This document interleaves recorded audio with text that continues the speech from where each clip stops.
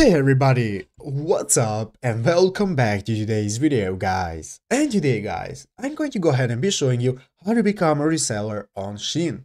This is a very simple thing to do guys, so make sure to watch this quick and easy video till the very end and follow my steps correctly so you can make sure this works the same for you and that you can do this yourself. But yeah guys, let's get straight into it. So guys, the first thing you want to do is go ahead and open up the official Shein application on your mobile phone if you haven't already. And after opening up Shein guys, go ahead and log into your account.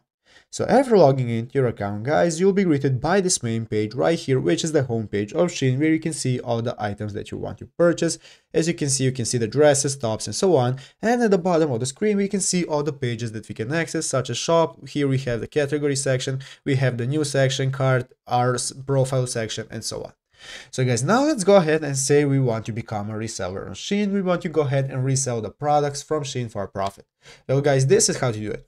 Basically guys, there is no button that is going to go ahead and turn you into a seller. So what you want to do guys is go ahead and do it one by one step. So guys, basically you want to make use out of all of the discounts the Shein is offering you. So guys, go ahead and use the discounts, then go ahead and collect points. As you can see, you can collect points which you can later spend on getting more benefits and more discounts on items. And basically guys, it just revolves around using your discounts and codes to purchase items that you're going to go ahead and later sell for more money. So with a lot of discounts guys, you can get very cheap items and those items can later be sold to other people for more money. And that is guys basically the first steps on how to become a reseller. After that guys, you can just go ahead and sell and sell more items and get more discounts and points on Shein.